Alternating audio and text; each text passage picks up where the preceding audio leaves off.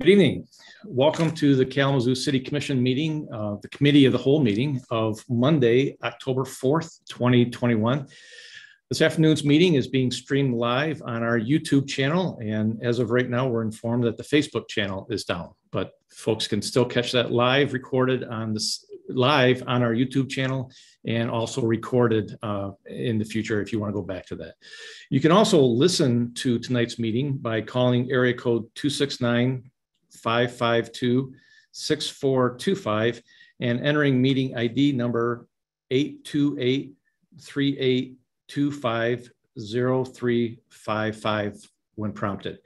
And you may call and leave a public comment for tonight's Committee of the Whole meeting by calling area code 269 226 6573.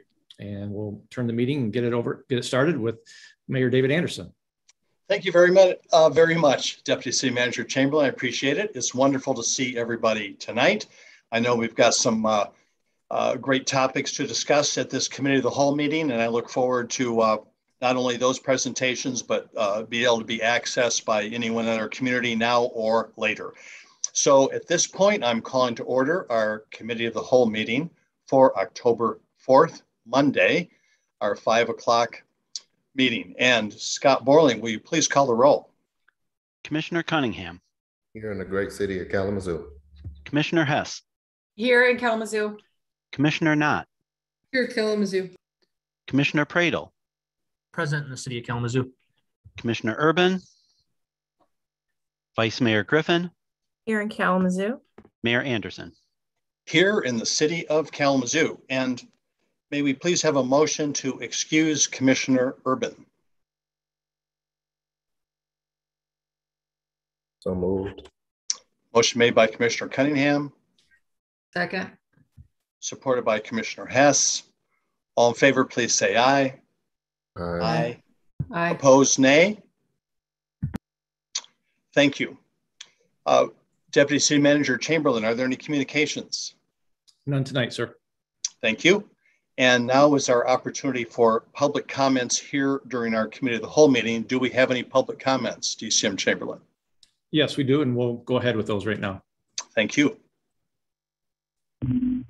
My name is Alfonso Harris. I'm a Kalamazoo resident living in the 900 block of North Burdick Street. Um, it's been made known to me that residents are not allowed to sleep over two hours in the city parks. Um, I think that that is anti-homeless, and that that should not be. Uh, it should not be against the law to sleep. Thank you.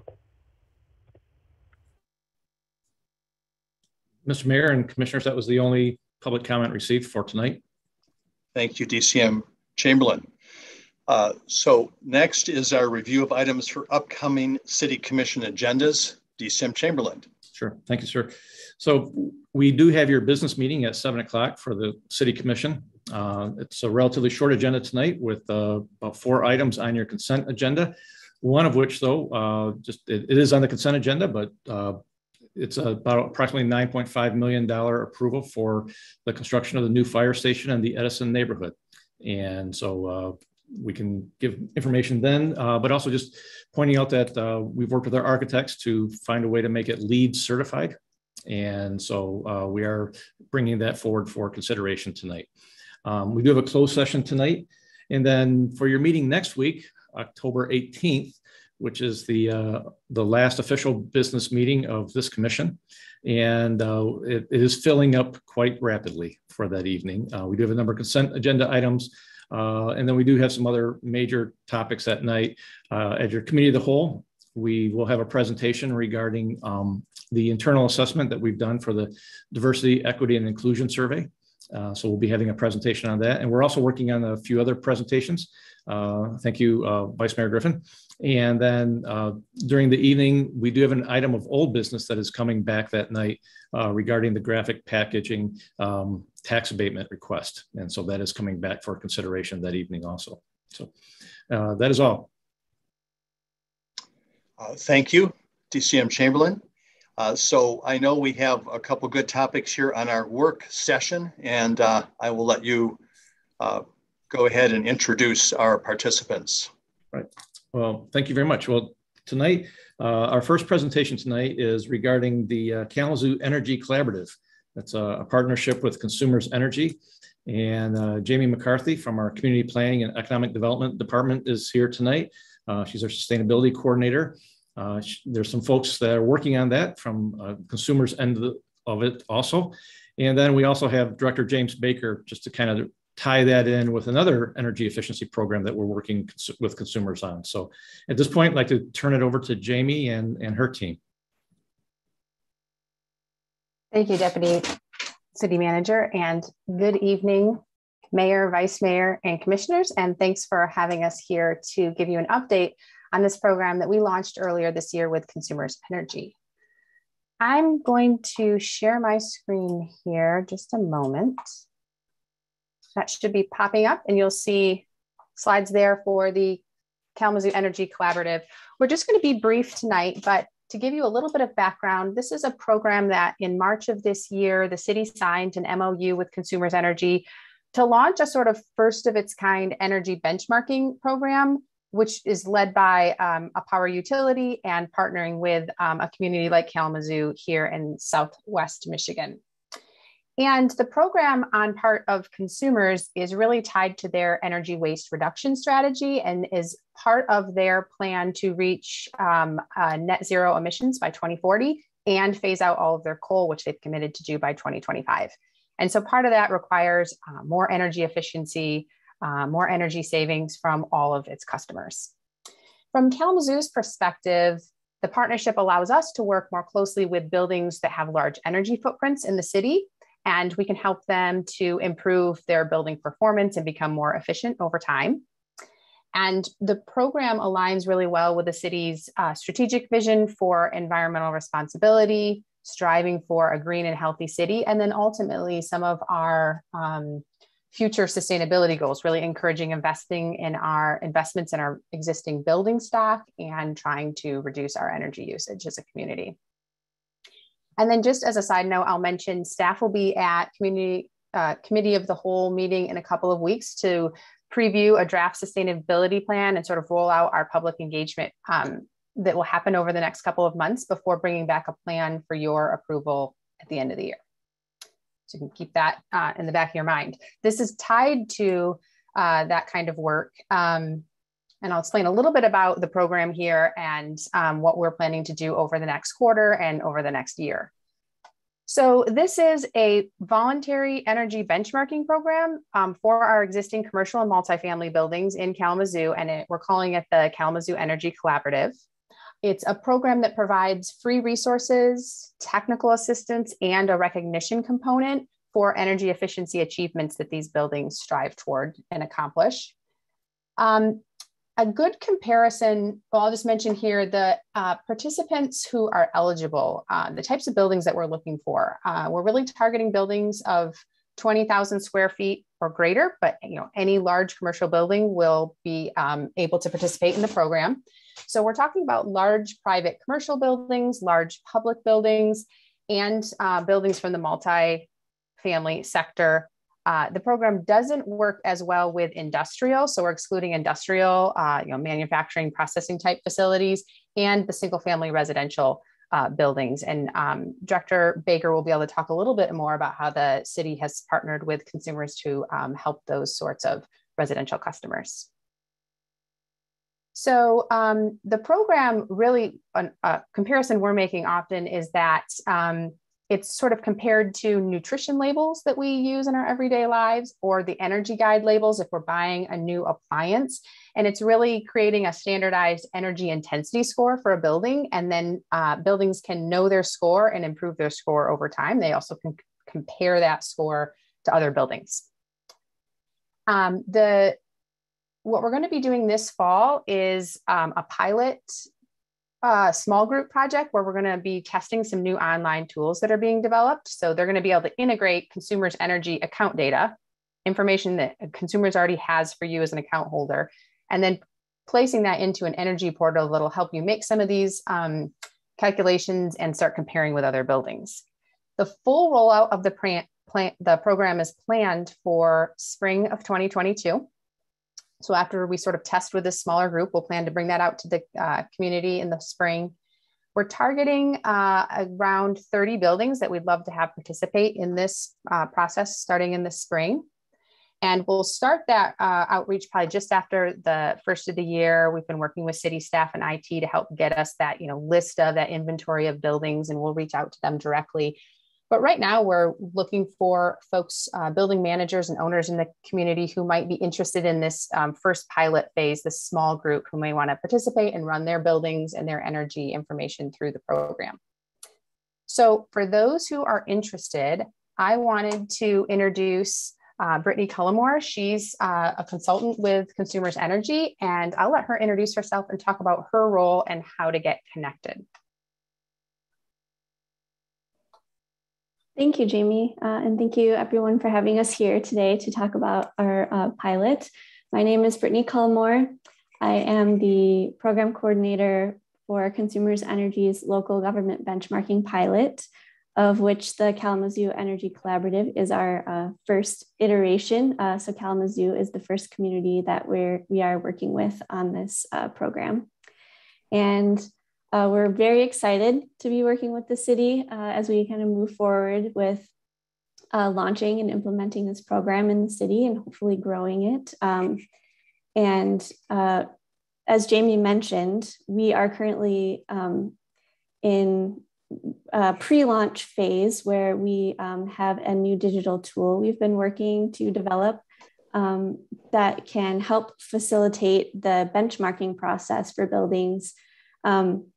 Benchmarking often can be, uh, it's kind of the first step to uh, taking energy efficiency measures in a building, but it uh, can be a bit of a lift, um, especially the first time it's done. And this platform we're working on um, will have the capability to sort of automate that process. So we're really excited to be able to offer that to um, customers in Kalamazoo. And so currently we are looking for a small group of early participants to join us this fall. Uh, so starting um, later next or later this month, um, where we'll uh, kind of onboard them onto that portal and uh, do kind of a testing phase with the platform uh, before we roll this out citywide. Um, so if there are any uh, anyone listening uh, now who may be interested in um, signing up their building for the program as an early participant, uh, I have my contact information here and also our pilot lead, Mike Daisy. Um, either of us, you can reach out to us if you're interested in learning more, um, if you're interested in hearing updates on the program, uh, or signing up as an early participant. Um, so that's that's all I have to share today, uh, but I welcome any questions and I look forward to uh, staying in touch as we move forward with launching this program. Thank you.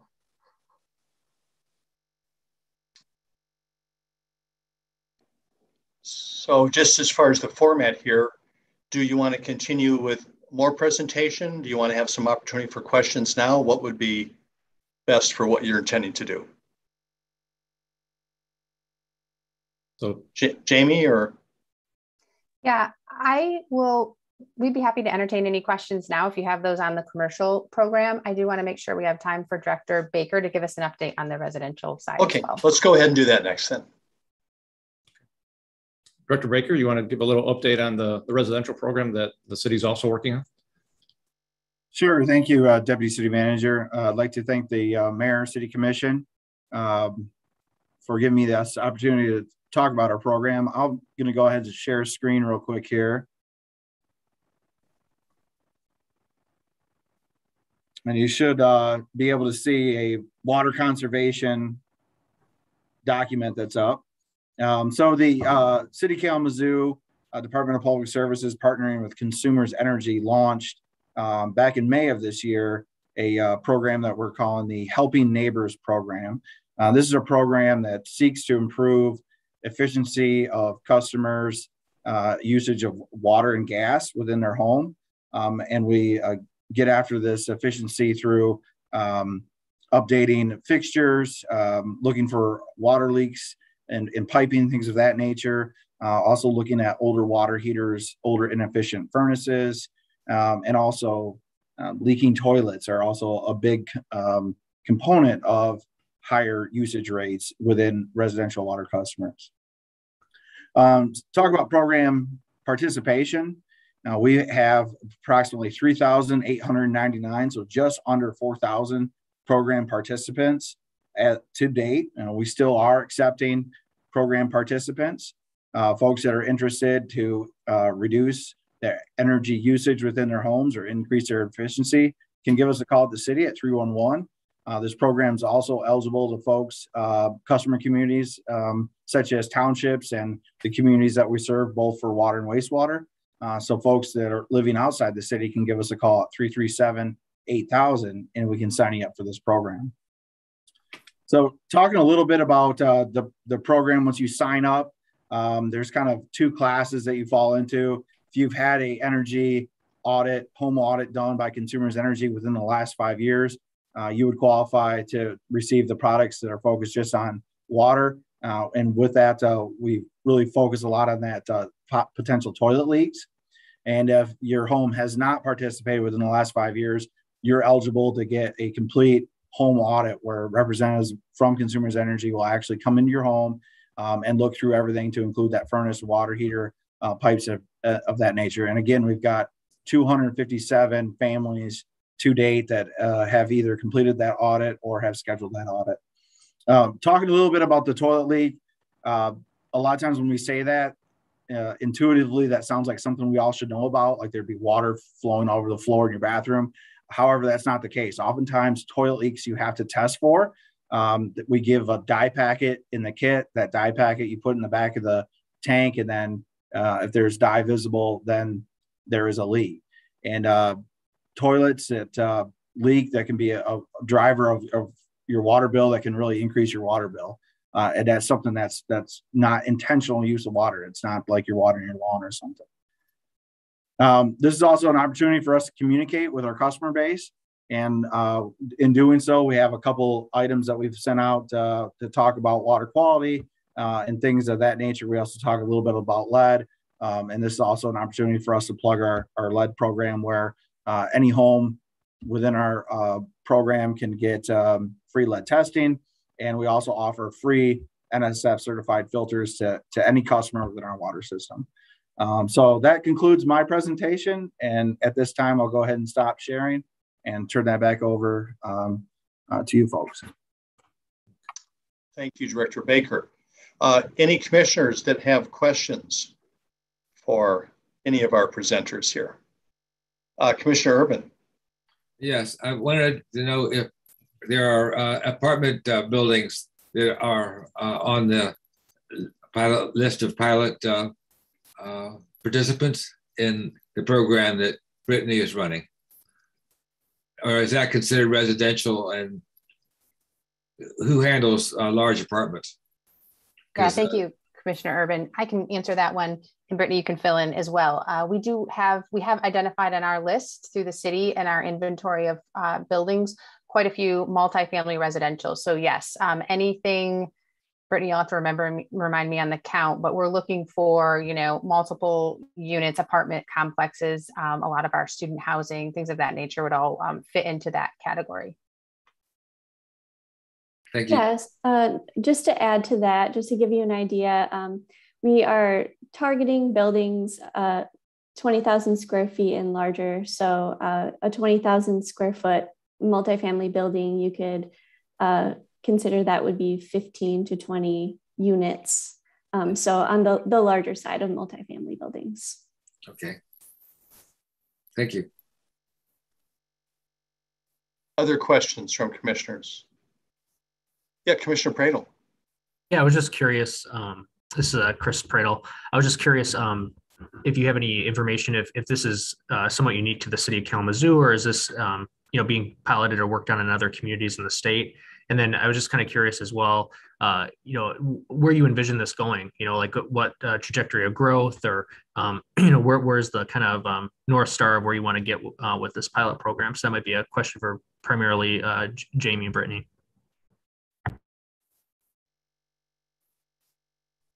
Brittany, do you want to talk about places that CE has worked with across, I guess, the region? And I'm not as familiar with state programs. Yeah, sure. So uh, this is the first, uh, this program is the first of its kind um, it, in the nation that we know of, where we're directly partnering with the utility and the city um, on a program like this. There are a number of uh, voluntary benchmarking programs in other cities across the country, um, but this uh, typically the utility uh, kind of goes in one direction and the city goes in another direction with these types of uh, benchmarking programs. So uh, this is the first time that we're kind of bringing both entities together to combine resources to launch a program like this. Um, we do hope that we can take this to other uh, similar communities in Michigan, um, but Kalamazoo is the first city in the state that we're working with on this pilot. So um, this is a pilot program, so it's something that we're testing out. We hope it will be successful and we can uh, use success in Kalamazoo as a model um, you know, for future programs in the state. Commissioner Hess, I saw you had a question. I did, just a, a short question. When, um, I know you said you were going to reach out to them later this month. Uh, when could you come back to us and let us know who is going to actually be participating?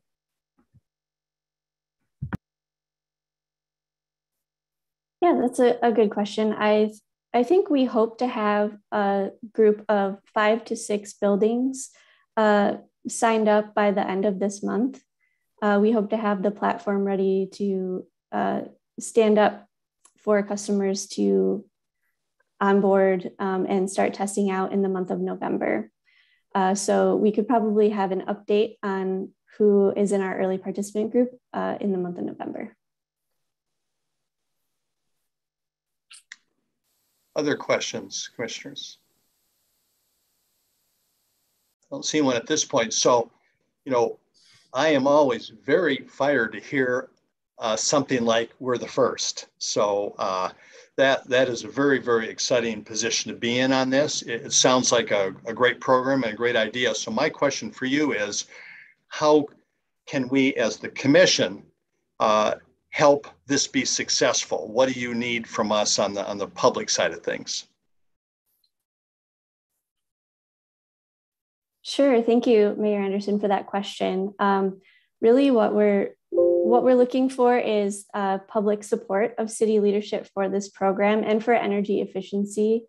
Um, and you know, we see the work that's being done in Kalamazoo to uh, put up a sustainability strategy and climate action goals and programs like this uh, can really work to support those goals. And so, uh, just encouraging local organizations and businesses to participate in these programs um, and recognizing the work that, that they're doing when, when they are participating and taking action. Um, I think that's the, the best way that city leadership can help um, in, in uh, encouraging participation.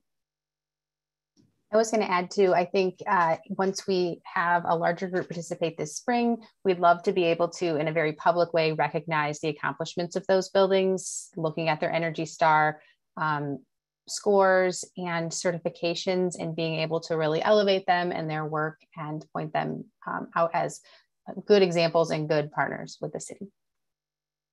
So, Ms. McCarthy, are you doing kind of direct recruitment at this point? Uh, or is yes. this going to be generally broadcast and, and hope you find some volunteers?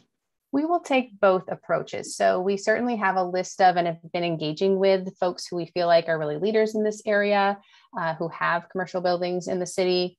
Um, we've been able to connect with some churches and some other partners who maybe haven't taken advantage of consumers programs, and so they're excited to participate.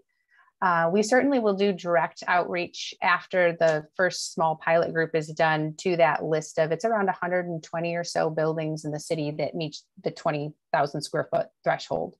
So we'll do some of that direct work, but certainly if folks who have a building that's 12,000 square feet or 9,000 square feet and they meet certain criteria, they're going to be welcome to participate. Fantastic. Sounds great. I really look forward to that. Anything else uh, for this presentation? I saw Commissioner Urban. Well, I'm thinking about the residential uh, part. Uh, it's really kind of uh, sh shocking to me to uh, realize how high uh, heating bills are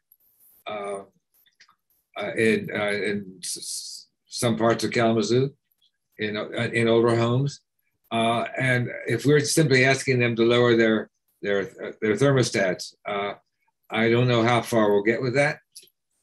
so I'm hoping that your program is going to include some some case examples of people who had invested in insulation or invested in uh, a, a, newer refrigerator or something to actually be able to show like before and after uh, with real examples. Uh, is, are you considering that as part of your program? Yes, uh, Commissioner Urban, thank you for the comments. Um, you know, as as we look to conclude the the program, and I, and I mentioned there's 257 home audits, so that's really I wanted to talk about um, of the participants, which participants would we expect to see some some real advantage uh, of work getting done, and that would be those participants that actually had the home audits, and those home audits will point out things like insulation, appliance efficiencies, things of that nature. Um, applicants who are income qualified um, can also uh, potentially receive um, support for, for that work. So that isn't always on the homeowner if there if there is an income qualification there. Um, that being said, uh, we don't have uh, at this point uh, a way to document some of those before or after uh, within within the city, but we're certainly interested uh, to take a to look at that and uh, to to ask our partners at consumers to see if we can bring some of those stories back. So that's you know certainly a, a re recommendation that's that's that's heard, and we we can take that forward. Thank you. So I would like to uh, thank Ms. McCarthy and uh, the team from consumers, I guess. I, I saw that there's a Stephanie here. I'm not sure if, if uh, she's from consumers as well, but thank you for being interested in this work and thank you for the partnership. I, I really look forward to, uh, to great things out of this and really building on it. So thanks for bringing us uh, this information tonight. Deputy City Manager Chamberlain. Uh, that concludes that presentation. And again, like you said, Mayor, we want to thank consumers for for partnering with us on this. Um, it really impacts not only our residents but also um, large property owners and businesses here in town. And, and so all together uh, is really what we have to do to make a difference on it. Uh, so our next presentation tonight um, is related to the Native American Mound in Bronson Park um, and uh, specifically ground penetrating radar report. And uh, I'd like to introduce two other guests that we have here tonight that they're welcome to join us, uh, Dr. David Brose and uh, Councilwoman uh, Phyllis Davis uh, from the Match-E-Be-Nash-She-Wish Band of Potawatomi Indians, um, the Gun Lake Tribe. And what we want to do tonight is talk a little bit about some pretty exciting uh, things that are happening um, with Bronson Park, and also this idea of giving the community and the city commission here tonight an update on this ground penetrating radar scan. So just to do a, a little bit of a, a background information, um, if you remember uh, early 2018, uh, the Fountain of the Pioneers, uh, that was removed from Bronson Park. Um, and as part of that, a lot of questions were raised about uh, the Native American mound in Bronson Park. You know, everybody knows that the mound there in the kind of the southwest quadrant of the park is there, uh, and there were there were a lot of comments and questions raised about the history of that mound. And so, as part of the Bronson Park plan, we we had a committee that worked on education, and that committee was looking at doing education about the his, history of Bronson Park. But as we did the um, improvements to Bronson Park, that committee has grown to look more at the specific history of the Native American tribes that have been here in the Kalamazoo area and, and their history and how, how can that history be told correctly. Uh, so that's where that group has been working on uh, over the last couple years. Uh, very happy to have uh, members of the Gun Lake Tribal Council and staff as members of that committee. Uh, Dr. David Brose, uh, who's an archaeologist, has been on that committee.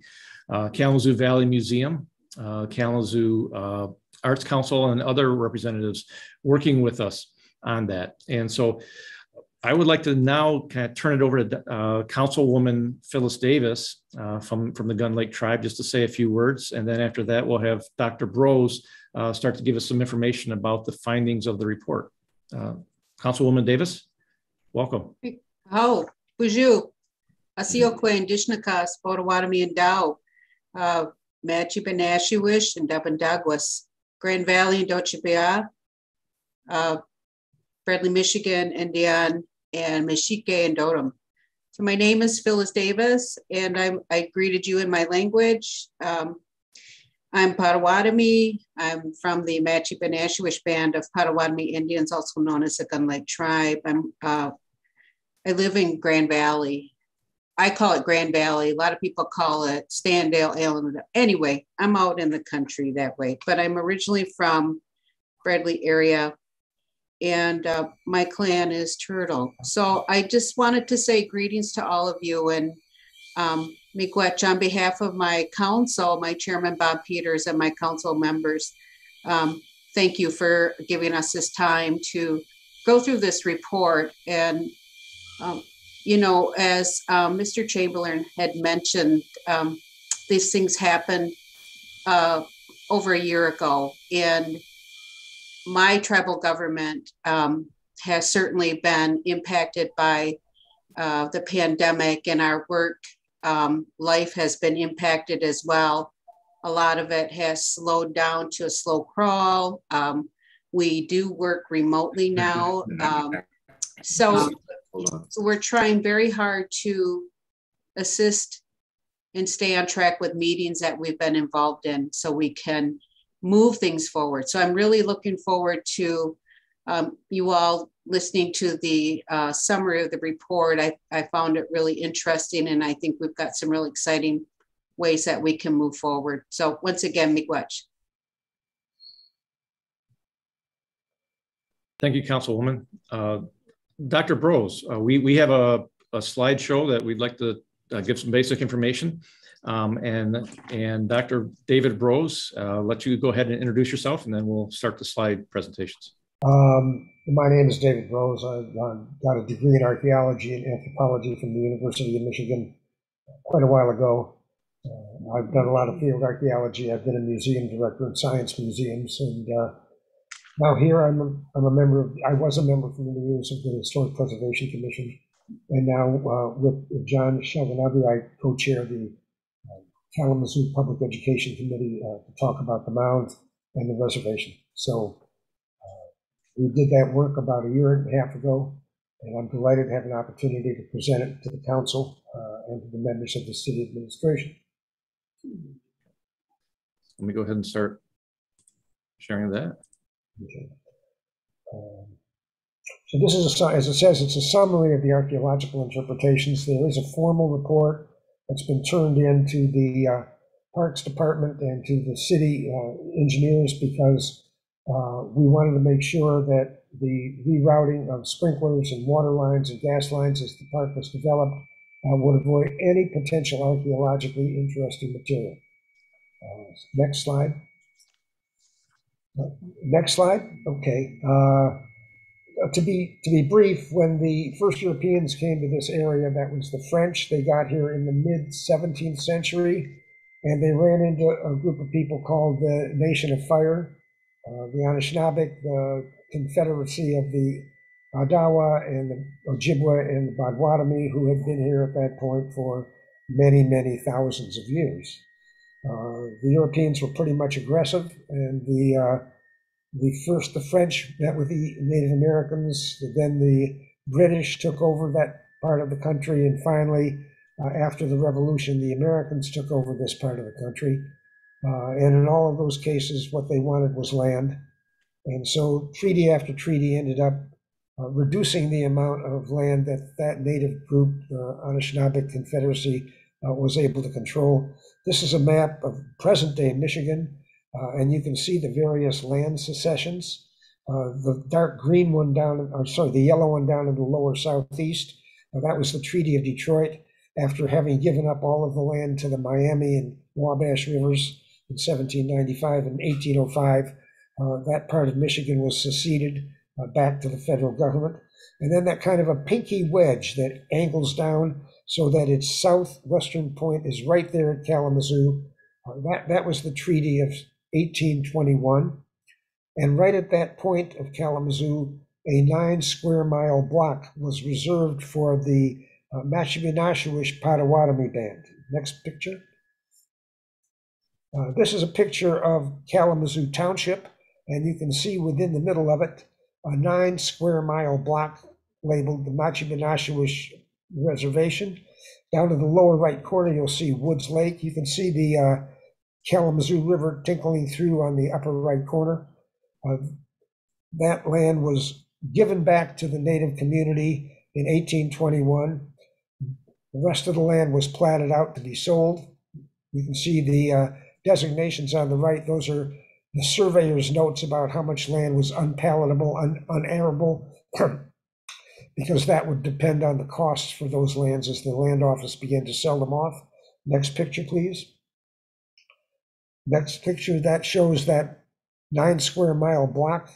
You can see the uh, Portage Creek coming in from the lower right, uh, Arcadia Creek uh, moving in, and Axtell Creek uh, swinging in from the left, and those flowing into the Kalamazoo River. Uh, by the way, my house is in that upper right uh, section. Each of those blocks is one square mile. There you can see the land within that area being divided up for sale. In 1827, the territorial governor, Lewis Cass, decided that this block of land lay a little too close to the road between Detroit and Chicago, and so it was taken away from the Indians and put up for sale. Next picture. That's that same nine square mile block showing you what it looks like in terms of where Kalamazoo is today.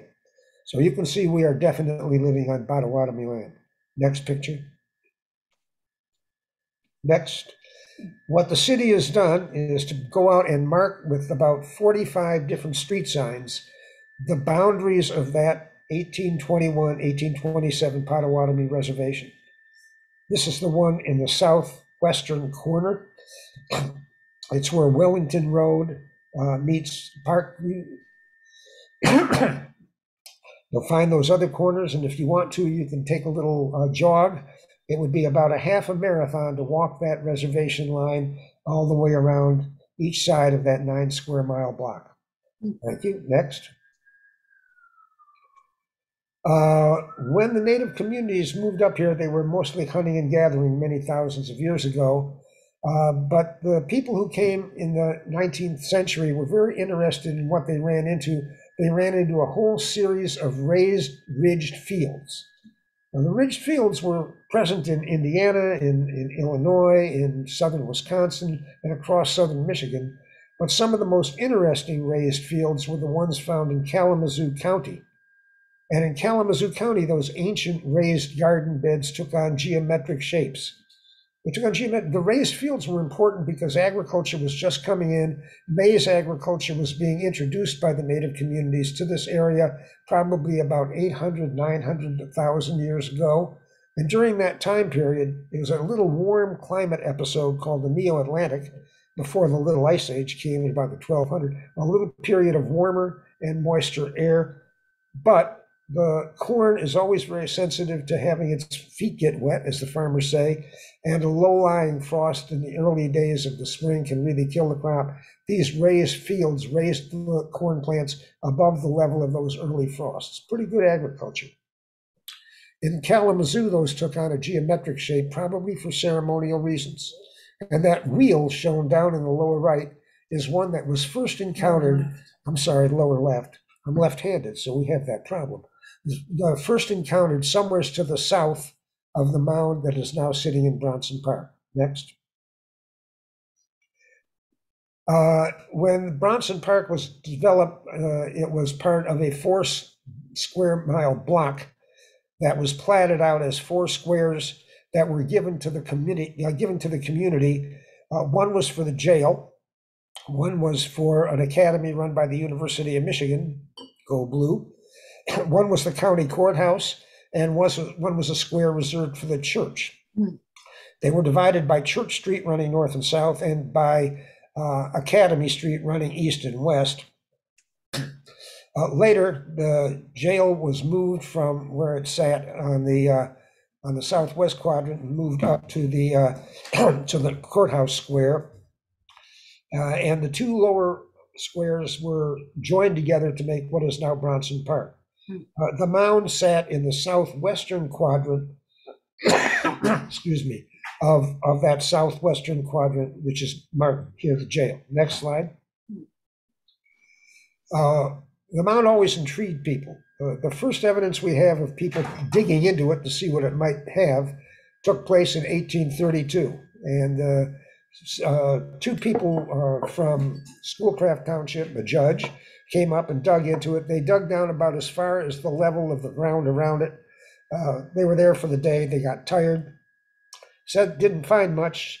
Uh, kind of a disappointment. I think they were looking to find. Well, in 1832, nobody knew uh, whether or not this mound had been built by Vikings or Phoenicians or people called mound builders. Excuse me. The dig in the middle of the mound was left open, and the jail decided to use that for a root cellar. So from 1832 till 1847, when the jail moved, this was the hole in the middle was cribbed over with logs, and it was used to store potatoes and turnips and whatever else they could feed uh, to the prisoners in the jail. when the jail moved, a, uh, a gentleman named Sheldon, who ran the local newspaper, decided to refill the mound and to put a time capsule in there. Uh, he dug down to the level that the dirt had been taken to before. Again, said he didn't find anything but a little bit of gravel. And then he backfilled the mound and restored it with his time capsule in there. Next slide. Next slide. And that's basically where it sat for a century. Hmm.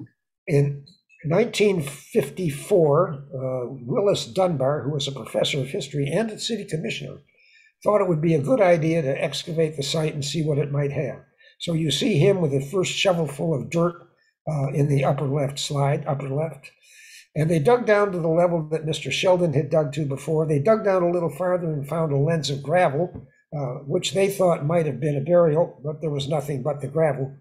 Then they decided to take out Mr. Sheldon's time capsule and put in one of their own. Here you can see Dunbar in the pit. The gentleman looking straight at you is uh, Alexis Praus. He was the director of what was then the Kalamazoo Museum. And the gentleman on the right is Nicholas Kick. He was the uh, chair of the library board, president of the library. So they put this large plexiglass tube wrapped in lead foil back in the mound and filled it up again. Next. We decided that what we needed to do was to take a look at what might have been in that entire southwestern quadrant, not just in the mound itself. And the tools we're using, again, archaeologists have been doing a lot of this borrowing stuff from the from the army, from the government, from all kinds of scientific initiatives. What we were using is ground penetrating radar to take a radar pulse and shoot it down into the ground. It would be reflected by different densities and by different chemical compositions. There are other systems that would identify the moisture in the ground or the size of objects, but the radar pulse would be bounced back. And the gentleman pushing that machine would have the radar pulse bouncing back into a computer, and that would be stored.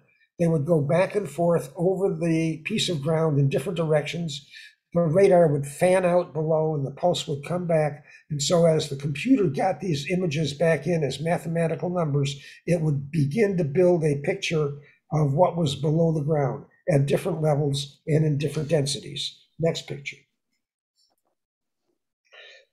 The ground in the area around Bronson Park is the result of many years of glacial outwash. If anybody's ever dug here, you know you go through sand and gravel and there are little pockets of dirt and sand and silt of different kinds. All of this makes it very difficult to read exactly what is going on. So being able to look with these ground penetrating radar images from different directions allows you to identify what are actual archaeological or cultural differences or mechanical differences, the result of human activity as the difference from the different lenses of sand and gravel uh, that are just laid down there by the glaciers hundreds and thousands of years ago. Next picture. Uh, this is Councilwoman Davis. Uh, before we did anything, we were working closely with the Match-E-Be-Nash-She-Wish band. Uh, Council Councilwoman Davis came to smudge the area uh, with, I believe, cedar smoke. so that the area would be purified for our non-intensive, non-destructive survey. Next. Slide. Uh, this is Michelle Batten. Well, she calls herself the Dig Chick uh, running her machine across the mound. As you can imagine, the ground penetrating radar impulses coming from different directions as you go over the flat ground around the mound and over the surface of the mound need to be uh, adjusted for the angle of that machine with the computer doing that. Next slide. Next picture.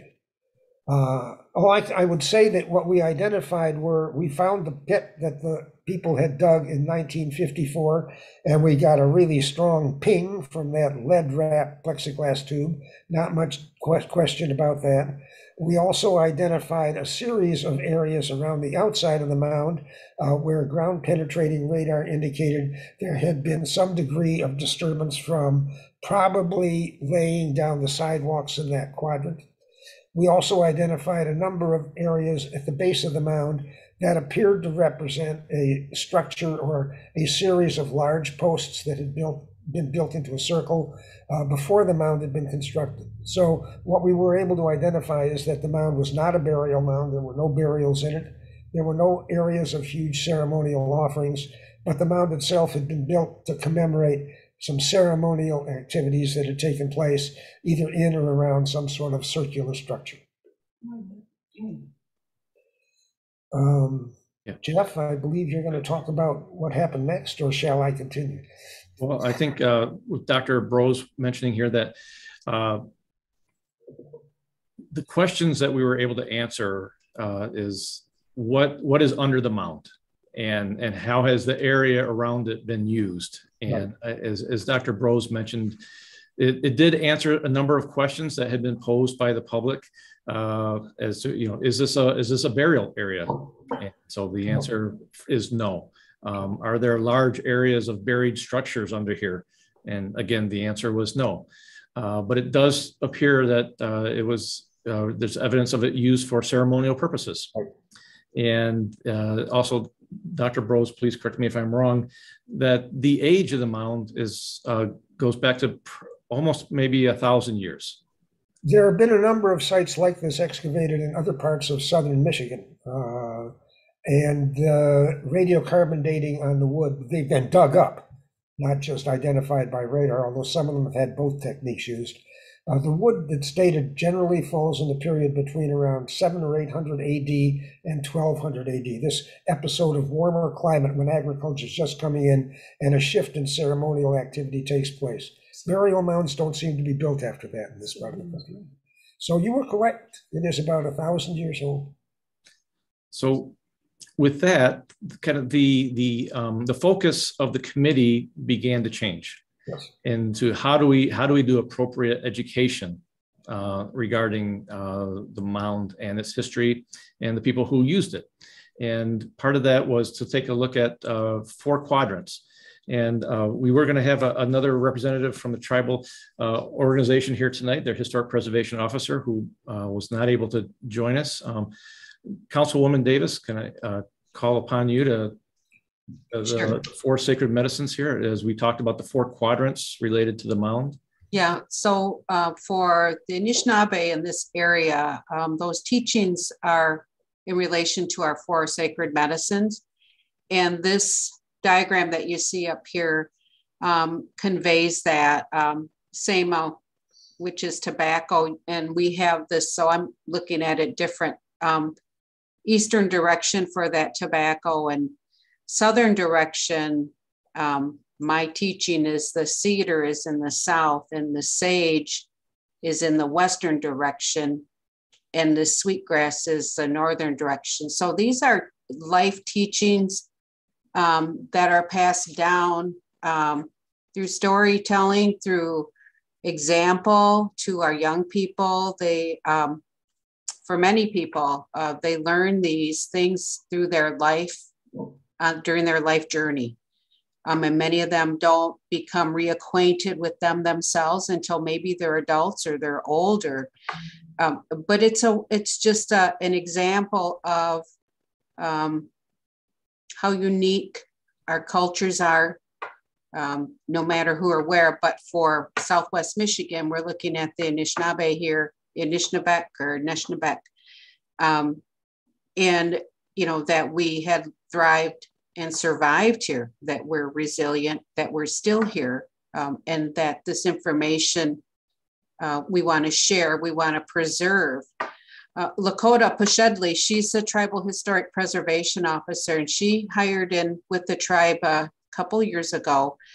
Her role is to assist in advocacy and um, the reinternment of ancestral mains um, within our historical territory.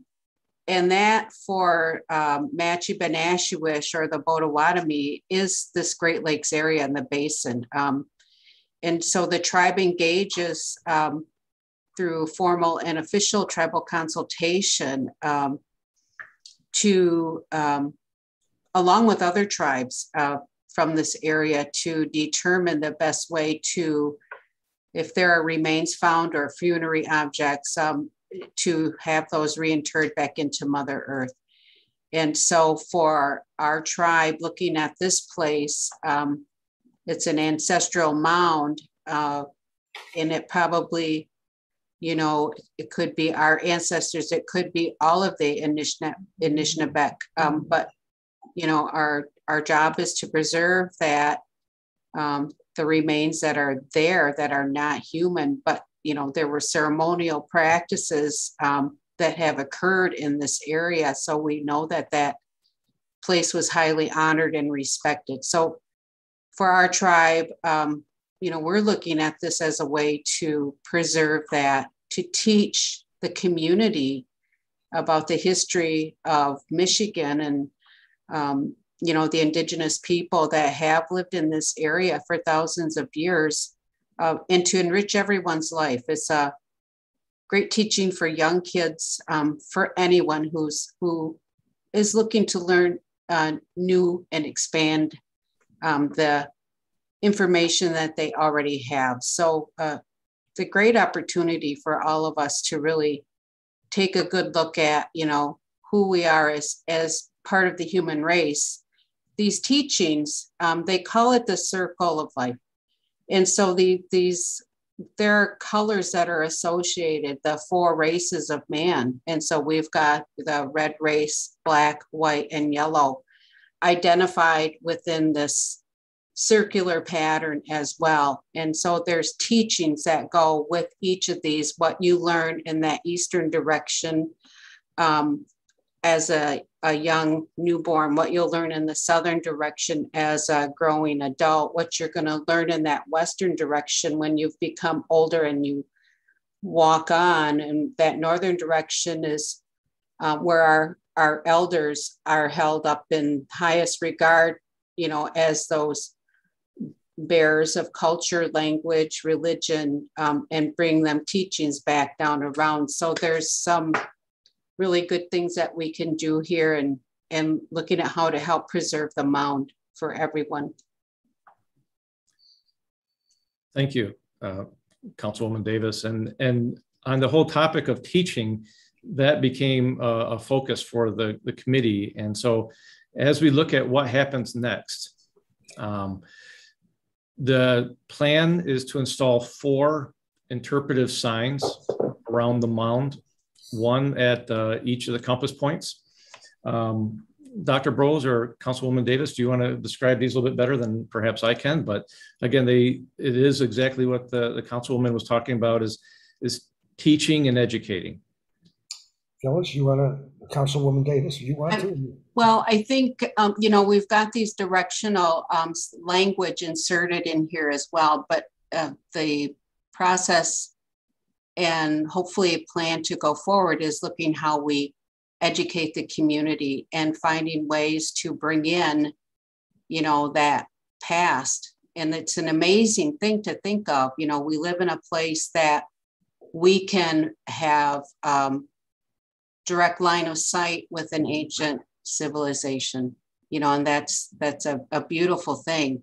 Um, and looking at the growth of Southwest Michigan, of the Kalamazoo region, um, how vibrant and diverse and exciting it is, and talking about you know some of the history of the Anishinaabe, um, it, you know, the uh, Potawatomi, the Three Fires Confederacy, you know, the strength and wisdom um, that the uh, Potawatomi, the Odawa, and the Ojibwe had as the three primary tribes in our area, um, you know, and their contributions to the establishment of, um, you know, pre-statehood, you know, the, the road systems, um, the rivers, those pathways of uh, travel and how they harvested. Um, you know, so there, there's some real interesting things we can do there. And then just continuing on about the the resilience when you look at that northern direction of, of um, indigenous cultures and their place in time, you know, past, present, and future, and how we can convey that out to the community. So you know they are directional and they do carry a message with with each of them and trying to help people learn a little bit of the language while they're at it.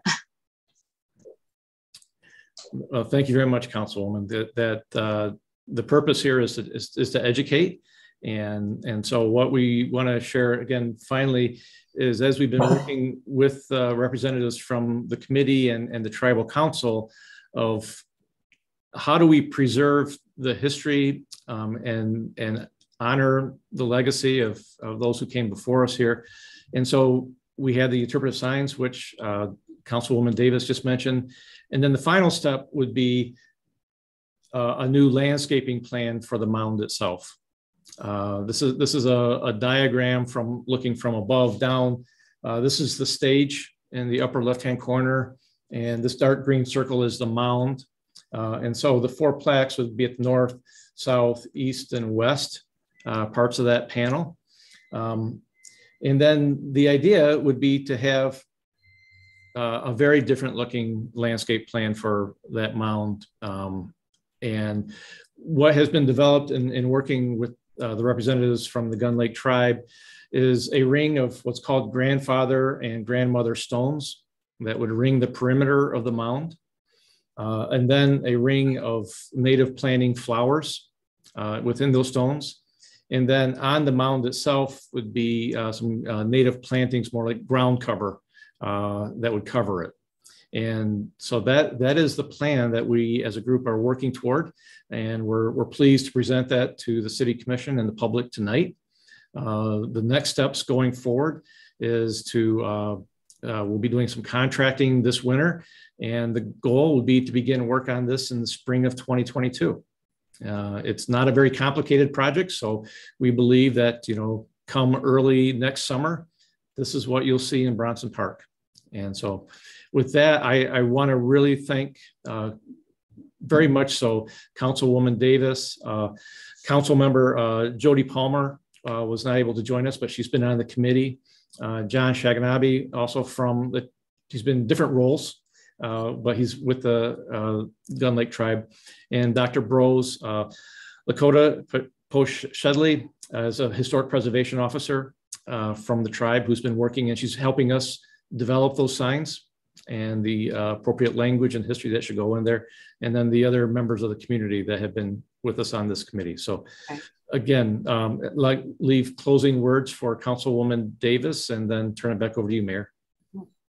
Well, miigwech um, to all of you for taking the time to look at this, to review the summary. I think it was really an interesting um, opportunity for us to take a look back and to see what, um, you know, what happened years ago, thousands of years ago. That's kind of a mind blowing thing for me. But I also just want to say miigwech to the work group and the committee. They've kind of evolved and over the years into other things from other things. And yet the goal has always remained the same um, is to educate to enrich the lives of the residents um, in in and around the city of kalamazoo. And um, you know really engage the diverse community that it is. Um, so i'm really hoping that this is something that you will consider even more and you know have uh, some questions or input about, you know, what you see for the interpretation and making, um, you know, preserving the mound as it is with minimal invasive type, um, you know, plants or just keeping it true to nature for what it is is really a, a beautiful goal to have for for those ancestors. You know it's one of the best ways that we can learn to respect you know those people who have walked on and who were here you know thousands of years before we were so um, i just want to say on behalf of my council again my chairman bob peters miigwech for for taking the time well thank you uh, Mayor Anderson, that concludes our presentation. Thank you. Thank you very much, Deputy City Manager Chamberlain. And I know that you have been very, very involved in these discussions for, for quite a while now. And I really appreciate your consistency and your participation and your, uh, uh, I would say, uh, recognition of the importance of this work that we do together and, and, and making that present in that space as we do this work. I also just wanted to say, uh, Councilwoman Davis, it's wonderful to see you again, even if it's on, on a screen. It seems like it's been forever since we've seen each other in person, but it is, it is great to see you here. For me, this is extremely meaningful. And it, it's wonderful to see that we are coming uh, to a place where in we can uh, do the best we can to take our thinking and the message and turn it to something uh, real and and recognizable and helpful right here in, in, the in the heart of our community. So I really, really appreciate everyone's efforts on this. Uh, anyone on the commission who wants to uh, has any questions or anything about this process at this point? Commissioner Cunningham? I don't have any questions, uh, but can I make a few statements? Okay. Yes, sir. Um, one, uh, I'm honored. I'm honored that uh, city staff uh, continued this journey uh, to ensure um, the feelings and the sentiments that were presented in 2018 uh, move forward. Um, I, I, give plenty of honor to uh, Councilwoman Davis.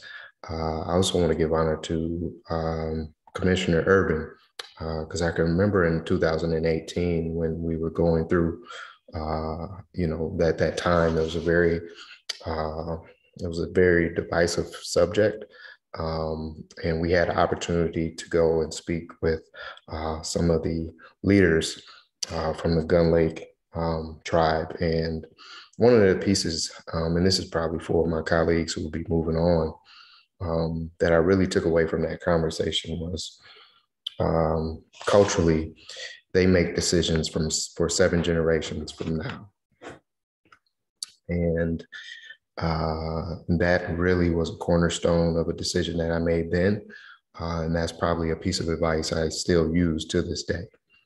Um, you know, I, I thought about uh, what was important for Bronson Park, and I can imagine, you know, my grandchildren, grand, great, great, great, great, great grandchildren. Uh, some of the conversations that we have today, I don't want them to have then. Um, but then, you know, I, I, what I'm finding unique about this particular project and the presentation of it is, you know, I, I love to travel the world.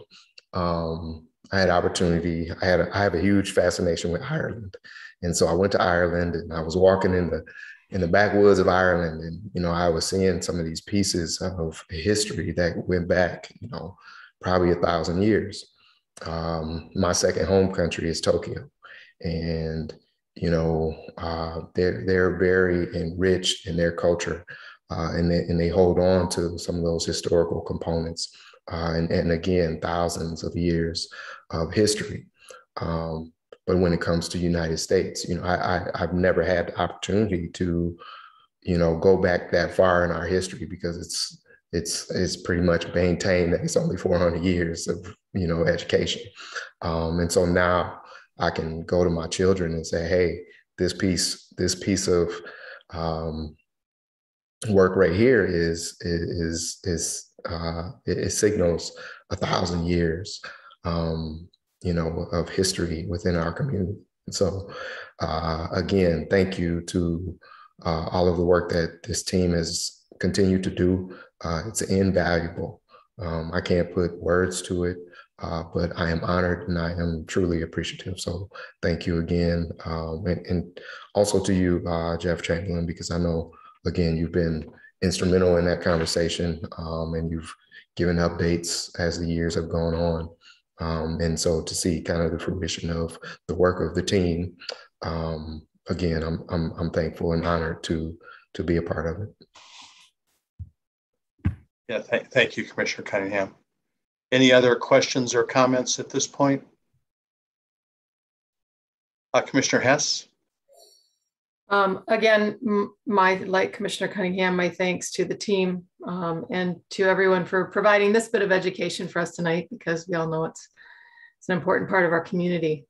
Um, as we go to Bronson Park, like how many people have I just talked to in daily life and, and, and who have no idea what exists there?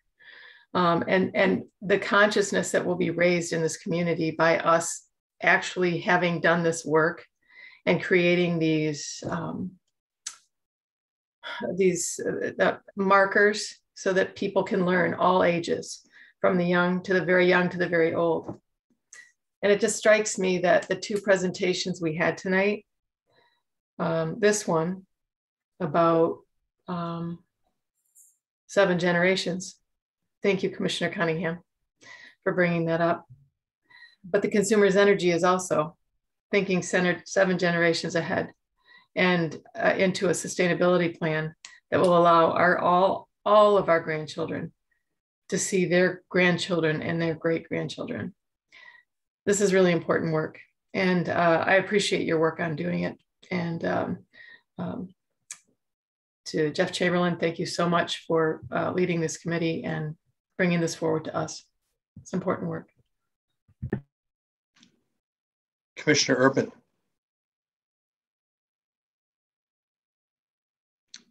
You're muted, Commissioner Urban. There you go. I want to thank everybody for their persistence because this is this is a project that has been uh, moving along for oh I'd say ten years or more. Uh, uh, even when I was on the county uh, arts commission, when I was still a county commissioner, there was a talk about how to uh, rebuild Bronson Park and what was going to be involved with that. The, the thing that strikes me as I listen to uh, Commissioner Hess and Commissioner Cunningham is the memorial that's going to be built uh, uh, uh at the site of the mound is not a, a, a, sculpture. It's not something that, that looks like it's part of Western culture. It is the natural world uh, arranged in a form that is a natural arrangement. And so it kind of reminds me of where we all have come from and to what we look for our preservation. And it's it's it's it's there that we can't walk on it anymore. We can't walk over it like we used to. It's it has a presence now, a, a formal presence that reminds us that um, the natural world is what we depend upon. So that's the message I take from this. And I want to just thank everybody who's worked on this for so many years to get to this point, and we're we're in the home stretch now. Thank you, Commissioner Urban. Anyone else? Uh, seeing no one at this point, I just want to thank you again for spending some time with us this evening. Uh, means a lot, and uh, in, in my mind, this is just one step. This isn't the final step by any means. So this is one step. I know that there's more that we need to do, and I'm looking forward to those ideas uh, continuing as, as we go on with this work together. So thank you so, so much. Now is the time on our, yes, thank you, Councilwoman Davis and Dr. Brose. Now is the time on our agenda for commissioner comments. Are there any commissioner comments for the committee of the whole meeting tonight? Uh, seeing none, I just want to remind anyone who's uh, present with us this evening that our business meeting starts at seven o'clock tonight. And uh, it's not a long agenda, but there are some important agenda items and it will be available in the same fashion that this meeting is. So we look forward to uh, your participation in what will be, what, about 50 minutes now? And we'll see you all in a little bit. And we are adjourned.